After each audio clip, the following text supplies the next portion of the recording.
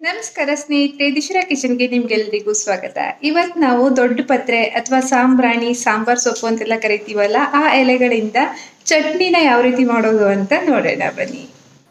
ದೊಡ್ಡ ಪತ್ರೆ ಸೊಪ್ಪಿನ ಚಟ್ನಿ ಮಾಡೋದು ತುಂಬಾ ಸುಲಭ. ಐದೇ ನಿಮಿಷದಲ್ಲಿ ರೆಡಿಯಾಗಿ ಹೋಗುತ್ತೆ ಇದು. ಇದಕ್ಕೆ ಮೇಯ್ನ್ ಆಗಿ ಬೇಕಾಗಿರೋದು ದೊಡ್ಡ ಪತ್ರೆ ಎಲೆಗಳು. ಮೀಡಿಯಮ್ ಸೈಜ್ನ ಎಂಟು ಹತ್ತು ಎಲೆಗಳಿದ್ರೆ ಸಾಕು. ಸ್ವಲ್ಪ ಜಾಸ್ತಿ ಹಾಕಿದ್ರೂ ಪರವಾಗಿಲ್ಲ ಫ್ಲೇವರ್ ತುಂಬಾ ಚೆನ್ನಾಗಿಯೇ ಬರುತ್ತೆ. ಅದರಿಂದ ಟೇಸ್ಟ್ ಏನು ವೇರಿಯೇಷನ್ ಆಗಲ್ಲ. ಎಂಟರಿಂದ ಹತ್ತು ಎಲೆಗಳನ್ನು ತೊಗೊಂಡಿದ್ದೀನಿ. ಇದನ್ನ ಕ್ಲೀನಾಗಿ ತೊಳ್ಕೊಂಡಿದ್ದೀನಿ. ಚಿಕ್ಕ ಚಿಕ್ಕ ಚೂರುಗಳಾಗಿ ಕಟ್ ಮಾಡ್ಕೊಳ್ಳೋಣ. ಹಾಗೆ ಕೈಯಲ್ಲೇ ಮುರಿಬೋದು ಚಾಕು ಅಗತ್ಯ ಇಲ್ಲ. ಇದರ ಜೊತೆಗೆ ನಾನಿಲ್ಲಿ ಒನ್ ಕಪ್ಪಷ್ಟು ಹಸಿ ತೆಂಗಿನಕಾಯಿ ತುರಿನೂ ಕೂಡ ತೊಗೊಂಡಿದ್ದೀನಿ. ಕೊಬ್ಬರಿ ಬೇಡ, ಹಸಿ ತೆಂಗಿನಕಾಯಿ ತುರಿನೇ ಚೆನ್ನಾಗಾಗತ್ತೆ. ನೆಕ್ಸ್ಟು ಒಂದು ಪ್ಯಾನ್ಗೆ ನಾವಿಲ್ಲಿ ಅರ್ಧ ಟೀ ಸ್ಪೂನಷ್ಟು ಉದ್ದಿನ ಬೇಳೆನ ಹಾಕ್ಕೊಳ್ತಾ ಇದ್ದೀನಿ. ಅರ್ಧ ಟೀ ಸ್ಪೂನಷ್ಟು ಕಡಲೆಬೇಳೆ ಎಂಟರಿಂದ ಹತ್ತು ಎಲೆಗಳು ಒಂದು ಕಪ್ ತೆಂಗಿನಕಾಯಿ ತುರಿಗೆ, ಅರ್ಧ ಅರ್ಧ ಟೀ ಸ್ಪೂನ್ ಹಾಕಿದ್ರೆ ಸಾಕಾಗುತ್ತೆ. ನೀವು ಕ್ವಾಂಟಿಟಿ ಜಾಸ್ತಿ ಬೇಕು ಅನ್ನೋ ಹಾಗಿದ್ರೆ ಪ್ರಪೋರ್ಷನನ್ನು ಕೂಡ ಜಾಸ್ತಿ ಮಾಡ್ಕೊಳ್ಳಿ. ಸ್ವಲ್ಪ ಕೆಂಪಗಾಗೋವರೆಗೂ ಇದನ್ನ ಹುರ್ಕೊಳ್ಳೋಣ. ಹಾಗೆ ಇದರ ಜೊತೆಗೆ ಅರ್ಧ ಟೀ ಸ್ಪೂನಷ್ಟು ಎಣ್ಣೆನೂ ಕೂಡ ನಾನು ಹಾಕಿದ್ದೀನಿ. ಯಾಕೆಂದರೆ ಸೊಪ್ಪನ್ನು ಹುರಿಯುವಾಗ ಚೆನ್ನಾಗಾಗತ್ತೆ ಅನ್ನೋದಕ್ಕೋಸ್ಕರ ಸ್ವಲ್ಪನೇ ಸ್ವಲ್ಪ ಒಂದೆರಡು ಡ್ರಾಪ್ ಎಣ್ಣೆ ಹಾಕಿದರೆ ಸಾಕು. ಕೆಂಪಗಾಗ್ತಾ ಇದ್ದಾಗೆ ಒಣಮೆಣ್ಸಿನ್ಕಾಯನ್ನು ಕೂಡ ಸೇರಿಸ್ತಾ ಇದ್ದೀನಿ. ಖಾರ ಎಷ್ಟು ಬೇಕೋ ಅಷ್ಟು ಒಣಮೆಣ್ಸಿನ್ಕಾಯಿನ ಹಾಕ್ಕೊಡಿ ಈ ಚಟ್ನಿ ಸ್ವಲ್ಪ ಖಾರ ಖಾರ ಇದ್ರೇ ಚೆನ್ನಾಗಾಗತ್ತೆ. ನನ್ನ ಮಕ್ಕಳಿಗಾಗಿರೋದ್ರಿಂದ ಸ್ವಲ್ಪ ಖಾರ ಕಡಿಮೆನೇ ಇಟ್ಟಿದ್ದೀನಿ. ನೀವು ಇನ್ನೂ ಜಾಸ್ತಿ ಹಾಕ್ಕೋಬೋದು. ನೆಕ್ಸ್ಟು ಹೆಚ್ಚಿಟ್ಟಿರುವಂಥ ದೊಡ್ಡ ಪತ್ರೆ ಎಲೆಗಳನ್ನು ಕೂಡ ಬಾಡಿಸ್ಕೊಳ್ಳೋಣ. ತುಂಬಾ ಬೇಗ ಆಗುತ್ತೆ. ಇದು ಜಾಸ್ತಿ ಟೈಮ್ ಹಿಡಿಯಲ್ಲ. ಜಸ್ಟ್ ಎಲೆಗಳ ಬಣ್ಣ ಬದಲಾಗಿ ನೀರು ಬಿಟ್ಕೊಡೋದಕ್ಕೆ ಶುರುವಾಗುತ್ತೆ ಅದು. ಅಷ್ಟಾದರೆ ಸಾಕು. ಫ್ಲೇವರ್ ತುಂಬ ಚೆನ್ನಾಗಿ ಬರ್ತಾ ಇದೆ ದೊಡ್ಡ ಪತ್ರೆ ಎಲೆಗಳದ್ದು. ಇಷ್ಟಾದರೆ ಸಾಕು. ನೋಡಿ, ಈ ರೀತಿ ಬಣ್ಣ ಬದಲಾಗಿರಬೇಕು, ನೀರು ನೀರಂಶ ಬಿಡ್ತಾ ಬರಬೇಕು. ಆಗ ಇದು ಆಗಿದೆ ಅಂತ ಅರ್ಥ. ಈಗ ನಾವು ಇದ್ರ ಜೊತೆಗೆ ಕೊನೆಯದಾಗಿ ಹಸಿ ತೆಂಗಿನಕಾಯಿ ತುರಿದು ಕೂಡ ಸೇರಿಸಿ ಒಂದು ಎರಡು ನಿಮಿಷ ಫ್ರೈ ಮಾಡ್ಕೊಳ್ಳೋಣ. ತೆಂಗಿನಕಾಯಿ ತುರಿನ ನೀವು ಹಾಗೆ ರುಬ್ಬುವಾಗ ಹಾಕೋದಕ್ಕಿಂತ ಈ ರೀತಿ ಒಗ್ಗರಣೆಯಲ್ಲೇ ಹಾಕಿ ಫ್ರೈ ಮಾಡಿದಾಗ ಅದ್ರದ್ದು ಇನ್ನೂ ಒಂದು ರೀತಿ ಫ್ಲೇವರ್ ತುಂಬ ಚೆನ್ನಾಗಿ ಬರುತ್ತೆ. ಜಸ್ಟ್ ಎರಡು ನಿಮಿಷ ಸ್ಟವ್ ಆಫ್ ಮಾಡಿದ್ದೀನಿ. ರುಚಿಗೆ ತಕ್ಕಷ್ಟು ಉಪ್ಪು. ಖಾರ ಎಷ್ಟು ಹಾಕಿದಿರೋ ನೋಡಿಕೊಂಡು ಅದಕ್ಕೆ ತಕ್ಕನಾಗಿ ಹುಣಸೆ ಹುಳಿನೂ ಕೂಡ ಸೇರಿಸೋದನ್ನ ಮರಿಬೇಡಿ. ಈಗ ಇದನ್ನ ಹಾಗೆ ಒಮ್ಮೆ ಮಿಕ್ಸ್ ಮಾಡಿಕೊಂಡು ಮಿಕ್ಸಿ ಜಾರಲ್ಲಿ ಗ್ರೈಂಡ್ ಮಾಡ್ಕೊಳ್ಳೋಣ. ಚಟ್ನಿನ ತುಂಬ ತೆಳ್ಳಗೆ ಮಾಡೋದಕ್ಕೆ ಹೋಗಬೇಡಿ, ದೋಸೆಗೆಲ್ಲ ಮಾಡೋ ಥರ ತುಂಬ ತೆಳ್ಳು ಮಾಡಬಾರ್ದು, ಸ್ವಲ್ಪ ಗಟ್ಟಿ ಗಟ್ಟಿನೇ ಇರಬೇಕು ಈ ಚಟ್ನಿ.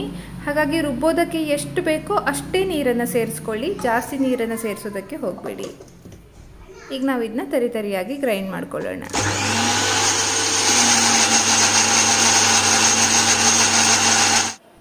ಈಗ ಇದು ರುಬ್ಬಿ ರೆಡಿಯಾಗಿದೆ ಇಷ್ಟು ತರಿ ತರಿ ಆದರೆ ಸಾಕು.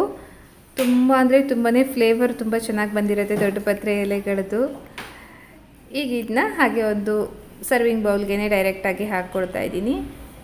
ಇದರ ಜೊತೆಗೆ ಜಾಸ್ತಿ ನೀರನ್ನು ಸೇರಿಸೋದಕ್ಕೆ ಹೋಗಬೇಡಿ. ನಾನು ಹೇಳಿದಾಗ ಈ ಚಟ್ನಿ ಸ್ವಲ್ಪ ಗಟ್ಟಿ ಗಟ್ಟಿನೇ ಇದ್ರೇ ಚೆನ್ನಾಗಾಗುತ್ತೆ. ಇದನ್ನ ಅನ್ನಕ್ಕೆ ಕೂಡ ಕಲಿಸ್ಕೊಂಡು ಊಟ ಮಾಡ್ತಾರೆ. ಹಾಗೆ ದೋಸೆಗಳಿಗೂ ಕೂಡ ಸೇರಿಸಿ ತಿಂತಾರೆ. ಸ್ವಲ್ಪ ಗಟ್ಟಿ ಗಟ್ಟಿನೇ ಇರಲಿ ಇದು. ಕೊನೆಯದಾಗಿ ಇದಕ್ಕೊಂದು ಒಗ್ಗರಣೆ ಹಾಕೋಣ. ಒಗ್ಗರಣೆಗೆ ನಾನಿಲ್ಲಿ ಎರಡು ಟೀ ಸ್ಪೂನಷ್ಟು ತೆಂಗಿನ ಎಣ್ಣೆನ ಉಪಯೋಗಿಸಿದ್ದೀನಿ.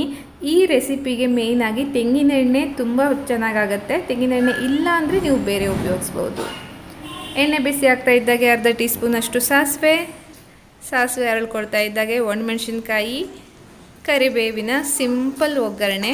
ಬೇರೆ ಏನು ಕೂಡ ಹಾಕೋದು ಬೇಡ ಬೆಳ್ಳುಳ್ಳಿಗೂ ಬೇಡ, ಏನನ್ನು ಎಕ್ಸ್ಟ್ರಾ ಆ್ಯಡ್ ಮಾಡೋದಕ್ಕೆ ಹೋಗಬೇಡಿ. ಜಸ್ಟ್ ಇಷ್ಟೇ ಸಿಂಪಲ್ ಒಗ್ಗರಣೆಲೇ ಟೇಸ್ಟಿಯಾಗಿ ಆಗುತ್ತೆ ಇದು. ಒಗ್ಗರಣೆ ಸೇರಿಸ್ಬಿಟ್ರೆ ಚಟ್ನಿ ರೆಡಿನೇ ಆಗೋಗುತ್ತೆ.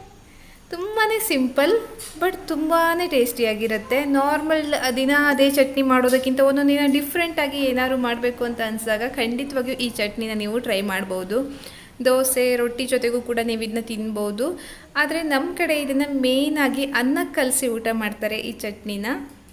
ಇದರ ಮೇಲಿಂದ ಒಂದು ಸ್ಪೂನು ತೆಂಗಿನ ಎಣ್ಣೆ ಹಾಕ್ಕೊಂಡು ಕಲಸಿ ತಿಂದರೆ ಅದರ ರುಚಿನೇ ಬೇರೆ. ಸೂಪರ್ ಅಂದರೆ ಸೂಪರ್ ಟೇಸ್ಟಿಯಾಗಿರುತ್ತೆ ಈ ಚಟ್ನಿ. ಇದನ್ನ ಮಿಕ್ಸ್ ಮಾಡಿ ಯಾವ ರೀತಿ ಇದನ್ನ ಅನ್ನ ಕಲಸಿ ಊಟ ಮಾಡ್ತಾರೆ ಅನ್ನೋದನ್ನು ಕೂಡ ನಾನು ನಿಮಗೆ ತೋರಿಸ್ತೀನಿ. ಚೆನ್ನಾಗಿ ಇದನ್ನೊಮ್ಮೆ ಮಿಕ್ಸ್ ಮಾಡ್ಕೊಳ್ಳೋಣ.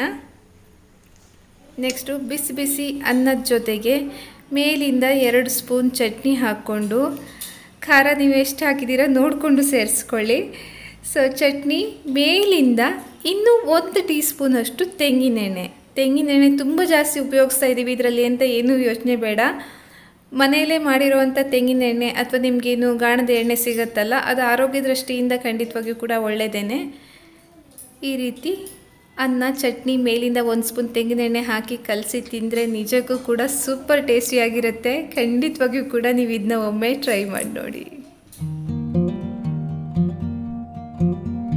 ನೋಡಿದ್ರಲ್ವಾ ದೊಡ್ಡ ಪತ್ರೆ ಎಲೆ ಚಟ್ನಿ ತುಂಬಾನೇ ರುಚಿಯಾಗಿರುತ್ತೆ. ನನ್ನ ಮಕ್ಕಳಿಗೆ ಇದು ತುಂಬಾ ಇಷ್ಟ ಆಗುತ್ತೆ. ಖಂಡಿತವಾಗಿಯೂ ಕೂಡ ನೀವು ಟ್ರೈ ಮಾಡಿ ನೋಡಿ. ಹಾಗೆ ಇವತ್ತಿನ ವಿಡಿಯೋ ಕೂಡ ಇಷ್ಟ ಆಗಿದ್ರೆ ಒಂದು ಲೈಕ್ ಮಾಡಿ, ಹೊಸಬರಾಗಿದ್ರೆ ಸಬ್ಸ್ಕ್ರೈಬ್ ಮಾಡಿ, ಅನಿಸಿಕೆಗಳನ್ನ ಆಸ್ ಯೂಶುವಲ್ ಕಮೆಂಟಲ್ಲಿ ತಿಳಿಸಿ. ಸಿಗೋಣ ಮುಂದಿನ ವಿಡಿಯೋದಲ್ಲಿ ಅಲ್ಲಿಯವರೆಗೆ ಧನ್ಯವಾದ.